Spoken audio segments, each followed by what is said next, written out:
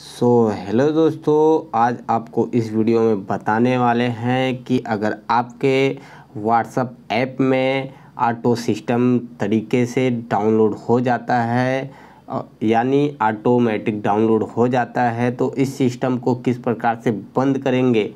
दोस्तों बंद क्यों करेंगे? क्योंकि हमारा ऑटो सिस्टम तरीके से डाउनलोड हो जाता है। जो हम नहीं चाहते, वो भी डाउनलोड हो जाता है और इससे हमारा डाटा इस पर स्टोरेज लेता है। और कभी कभी दोस्तों, स्टोरेज इतना फुल हो जाता है कि हमारा मोबाइल कभी कभी हैंग भी कर जाता है। तो इस सिस्टम को किस प्रकार से हम बंद करेंगे? तो आइए वीडियो को शुरू करते हैं दोस्तों। मेरा नाम है विकास, आप देख रहे हैं विकास टेक एंड टिप्स।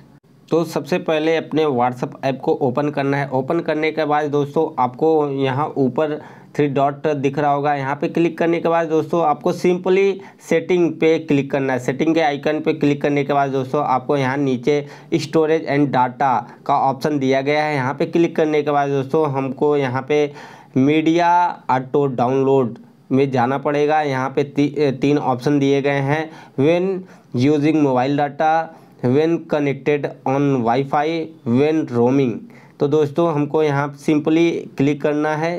क्लिक करने के बाद दोस्तों, जैसे हमारा, अगर हम चाहते हैं कि मोबाइल डाटा चालू होने के बाद सिर्फ़ फ़ोटो डाउनलोड हो फ़ोटोज़ डाउनलोड हो तो यहाँ पे क्लिक ही रहने देना है। और अगर नहीं चाहते तो इसको अनटिक कर देना है।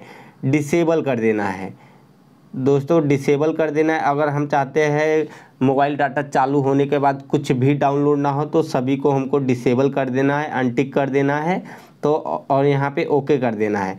तो दोस्तों नो मीडिया दिखाई दे रहा होगा, कुछ इस, यहाँ पे इस, इसको भी इसी प्रकार से अनटिक कर देना है। अगर वाईफाई पे आप नहीं करना चाहते तो अनटिक कर देना है। तो यहाँ पे ओके कर देना है। उसी प्रकार से हमको यहाँ रोमिंग पे भी सभी को डिसेबल कर देना है। डिसेबल करने के बाद ओके कर देना है। दोस्तों अब हमारा किसी भी प्रकार से ऑटोमेटिक डाउनलोड नहीं होगा। तो दोस्तों, वीडियो पसंद आए तो लाइक एंड सब्सक्राइब करना ना भूलना और साथ में शेयर करना।